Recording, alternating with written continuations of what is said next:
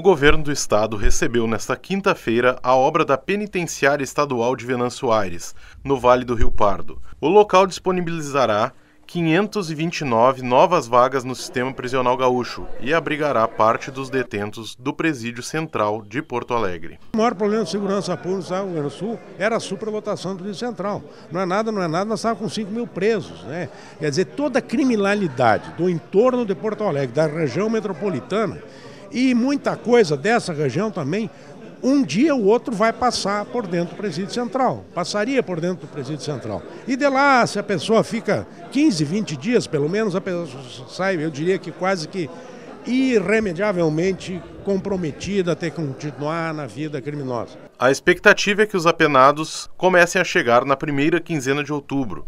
O investimento foi de 21,6 milhões e ao todo 150 agentes penitenciários trabalharão no local. E aqui o que nós vimos é um prédio, um presídio, cujas condições são muito acima das expectativas que eu tinha em relação à casa.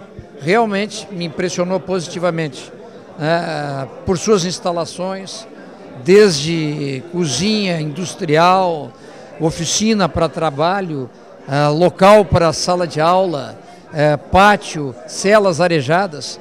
Eu espero que isso seja início de um processo que tenha esse caminho. O novo modelo da casa prisional permitirá um controle mais efetivo e seguro por parte dos agentes, que terão pouco contato direto com os detentos. Ela possibilita que não tenhamos um número exagerado de servidores, porém tenhamos uma segurança extremamente confiável toda a movimentação dessa penitenciária ela é feita por cima, ela tem um segundo pavimento, o que possibilita que o agente penitenciário que está fazendo a segurança não se exponha ao risco.